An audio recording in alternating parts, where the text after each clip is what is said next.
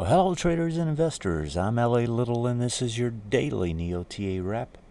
We take a look at these markets, and we're doing it from a neoclassical perspective. That means we're looking at supply and demand on the charts, asking ourselves, is there any test of something of significance? If it is, what does it tell us, and will that tell us something about the coming days? I do a show four times a week, every Monday through Thursday. It's broadcast at or before 10 o'clock Eastern Time. It's archived on YouTube. It's under the channel L.A. Little. If you want to subscribe, you haven't, reach up in the right-hand corner, do so. Anytime I push content that's not private, in other words, not for members only, then you'll get a notification. If you want to be a member, hit the Get Started button. Uh, there's a lot going on. Our membership uh, continues to grow, and what we're seeing is uh, people are liking this ideal of us tutoring in the neoclassical method. Teach someone to fish, they can feed themselves for life, and that's what we're trying to do here, folks. So give me a holler, get started, uh, sign up for the mentoring program, and be part of the TA Today clan.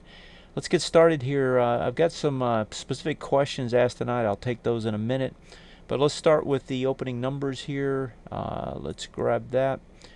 Uh, we actually saw the S&P continue to push up today. Gains another 0.33. We were talking about last night, you know, it could go higher, and that's exactly what it did.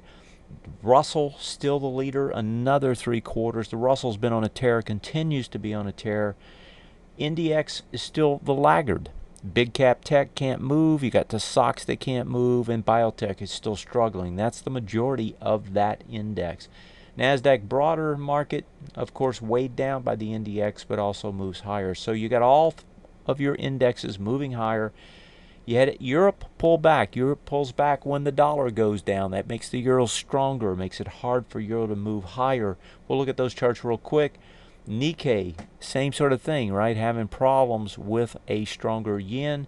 Of course, the dollar was down, down about a third of a percent today and that juiced the gold market up a 1.5%. We had the uh, silver market up uh, a good percentage as well, three almost 4% on the silver market off that dollar weakness. Fed meeting next week, and uh, you know expectation is they just are not going to raise the rates, and that puts the uh, foreign exchanges up and the dollar down. Let's go to the charts here. Let's start with the S&P 500. So Tonight you have an over-under. In other words, you get over the bar from the prior bar, right, and back under. That's an over-under, but the problem is, folks, got more volume. So if you got more volume, that says it can go do it again and push again, and that looks to me like what it's going to try to do. If we look at the NASDAQ, NASDAQ, a little bit different of a story. Now, the NASDAQ gets over back under, has less volume. So that's an over-under after an extended move. That says it has a chance of pulling back tomorrow. If we look at the NDX, and the NDX again, the weakest of the four, NDX can't uh, hold, has less volume, gets over, does a doji, that's an over-under as well, although it has been consolidating, so I don't know if the over-under tells us quite as much on it. Finally, the Russell powers higher. There's nothing to stop this guy. They're like on a mission, like the Blues Brothers, straight up, a mission to God. Let's go to the uh, world markets. I want to show you real quickly here what's happening. Uh, Asia uh, has been on a tear, emerging markets on a tear with the dollar being uh, weaker. That's helping those indexes. Hong Kong is the one that's giving us a tell tonight. Hong Kong gets over back under less volume after an extended move. This one set up to try and pull back tomorrow. So we may see a little weakness come into Asia. If we go over to Europe, as I said, the DAX was pulling back. DAX was an inside bar, I believe. Let's look at it. 10.18319. Your low today was 10. 1 no 177 so you actually got under you had less volume uh, so that says that one can hang tomorrow so you've got a lot of mixed pictures. That's because we have such an extended move already. Looks to me like we're going to try to grind a little bit higher and probably do the same sort of thing we did today and that is you know back and forth back and forth end up grind, grinding a little bit higher by the end of the day. Moving over to uh, the uh, currencies, starting with the dollar. The dollar pulls back. It didn't actually uh, get into these two big bars. I think that's the target, probably in front of the Fed. The highest of those two is 24.10. Today we got to 24.18. I suspect it's going to try to get into those. And that's going to continue to push the gold market, the silver market higher, most likely in the short term. Remember that big reversal on Friday. You know, I told members you're going to see follow through, right? So, what you saw Friday, at some point this week, it's going to do the same thing again. Gold spiked on that move. Let me draw these out here real quick. So, this was this was the uh, Thursday close. There's the Friday gap open. You get a three day consolidation. What do you do? You gap it again. That's exactly what you'd expect should happen. That is what happened. Gold now, if you look at it on a weekly basis, is coming back into the big bar. Top of that big bar, that was the spike high. That was 120.84. Uh, you're going to hit into that tomorrow. You almost got into it uh, uh, this this uh, uh, trading day today.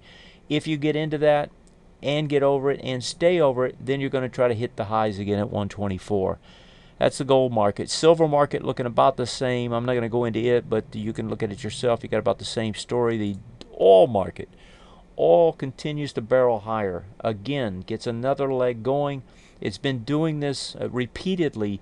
If you just go back and look at this, and this is a market that I thought would take a rest.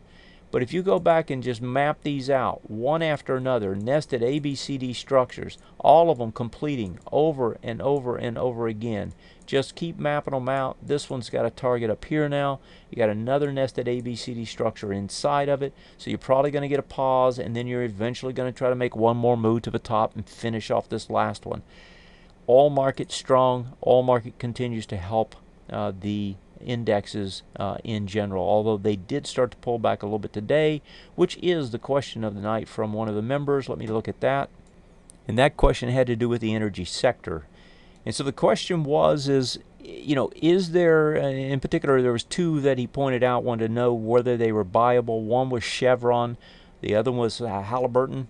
So we're going to look at those, but I'm going to start with the sector itself. Now, if we pull over the trading cube, which is kind of part of the question that's being asked, uh, the question was with the short term uh, bullish, in this case, uh, it was, it was a, uh, a, suspect bullish. That's what the red tells you. This is, this is uh, the bullish one here is green, telling you it's confirmed. That means when you broke over a swing point high, you did it with extra, you know, with more volume uh, than the bar that was there that you were breaking over. But it, but the point here is that this number you see underneath it is called mean time to failure.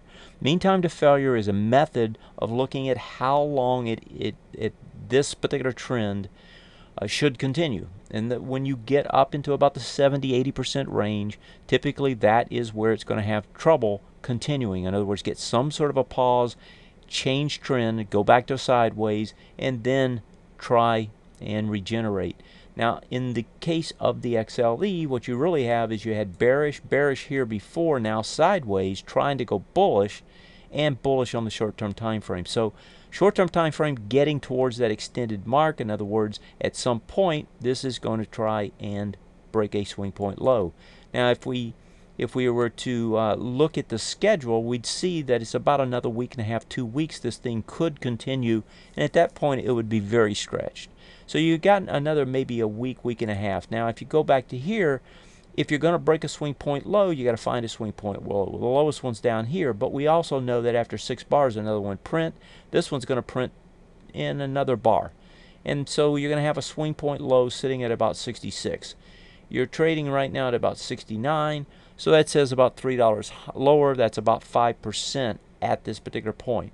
But note, if you do that, there's two things happening. One is that would be a bullish retest regenerate off that prior swing point high that it just broke. The second thing is that if you came back into this area, this swing point low now would be almost in that that area. So the ideal would be that you'd probably come down here and break it and then just head back up again, which is the ideal scenario that you want when you're looking at something like that. So uh, when we look at the um, the XLE, XLE actually looks pretty well. When you do get a pullback, it's probably going to get bought. If we move over to Chevron, which was uh, one of the questions, Chevron getting ready has already broken three swing point highs here, gets over them on that bar, volume expands, stops get blown out more than likely. Now you're going for this last swing point high on the daily. Let's move it to the weekly. On the weekly, you have this nice kind of a, a cup and handle if you're doing the general, you know, classical TA type stuff. And it's up here hanging at the top on, on kind of the handle part of it. Now, if, if you do what I do, and that is I look at volume at key resistance and support zones, this was your breakout, right? That was where you broke it out. You can see the volume here wasn't as heavy because it's red. If you go back and line them up, you'd be able to see that in fact it didn't have enough volume to get over it. But it did get over it and then came back and tested. That's your retest regen off that prior swing point high. Now it's trying to push higher. If it breaks one more swing point high, it's only on a daily. You're not getting it on multiple time frames. That says that more than likely, right, you are going to probably retrace after a little bit more juice. So going back to the question, is it time to buy? No, I think you try to buy the retrace. And so if I go back to the daily chart, and let me pull it back here one more time and get the daily back up, where would your retrace be? Well, it's not very low. It's back into these swing point highs. So anything back in this 102 area, probably the 100 area, you know, par, uh, all of that looks good. It should probably not get very far below this low, which is 101. So 101 and 101.6. So anywhere between about 101.6, 102 is probably a good area. Let's look at Halliburton. I haven't looked at this chart either. Let's see what this one looks like. I'm suspecting it looks about the same. Actually looks better. This one just got a nice big spike up on the daily. Breaks two swing point highs. Uh, one there, and there was probably one off the chart over here somewhere. And then if we look at the weekly, so this one's already got the juice going. And you've also got, you know, when you get something like this, what you want to do is look at your ABCD structures and do your projections and ask yourself, where can this thing go? Looks to me like it's almost to where it wants to go and matter of fact, I think it probably just completed it on the weekly. So Halliburton is the more extended one. I think the one you probably ought to pursue is Chevron until Halliburton gets a little bit more of a consolidation and maybe some sort of a retrace. Halliburton actually on this time frame has nested ABCD structures. So you actually have another one that could get it a little bit higher as well, maybe into this swing point high. Both of them look pretty good. The whole, of course, the whole energy sector looks pretty good. And as long as oil keeps going up, they're going to go with it. Folks, what do we expect tomorrow? We expect uh, this market probably to grind some more. I don't know that it's ready to give it up yet. You got a lot of mixed signals. Asia looks like it's going to try and pull back a little bit. Europe sideways to higher, maybe. Our markets, U.S. markets, going to try and grind higher again, at least probably to start the day. That's it for tonight. Thanks for joining. me. Have a great one. Take care. Good night.